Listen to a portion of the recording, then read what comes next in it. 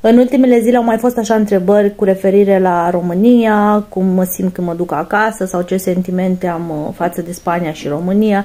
Și am să răspund la întrebarea ta, Carmen. Sunt în Spania de la vârsta de 15 ani, având acum aproape 33.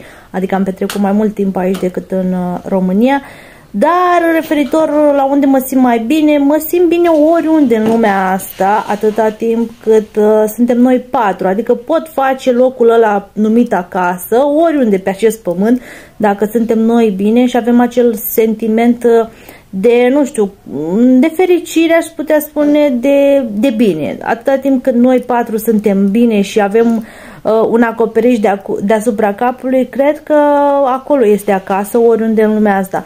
Nu pot spune că am sentimente extraordinare față de Spania, deși mi-a oferit cei mai frumoși ani din viața mea, și nici față de România care m-a văzut crescând până la 15 ani. Uh, nu am așa să zici, nu știu, patriotismul ăla față de o țară, nu.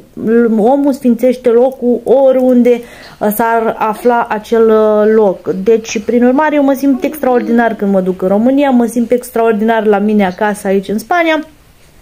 Nu pot spune că am un sentiment, wow, am pășit pe pământ românesc am, pentru mine oriunde aș păși pe acest pământ uh, sunt mulțumită că am avut ocazia să cunosc planeta asta și că Dumnezeu mi-a dat șansa să, să fiu fericită alături de uh, soțul Alexa și Andy.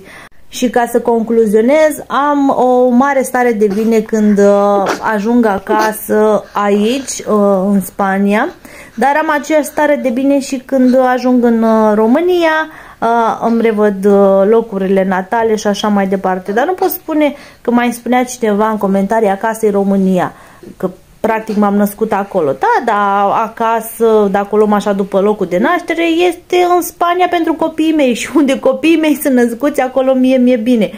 Dar practicamente nu ar fi vorba despre asta, ci mai mult de uh, sentimentul ăla de acasă pe care, repet, îl faci oriunde pe acest pământ atâta timp când ești cu persoanele dragi ție nu ține personal vorbind, nu ține de locul unde te naști sau locul unde locuiești, ci mai degrabă de locul unde simți că ești bine cu tine și familia ta, căci atunci când ai aproape familia, poți construi acel acasă care ține de sentiment, nu neapărat de cuvânt.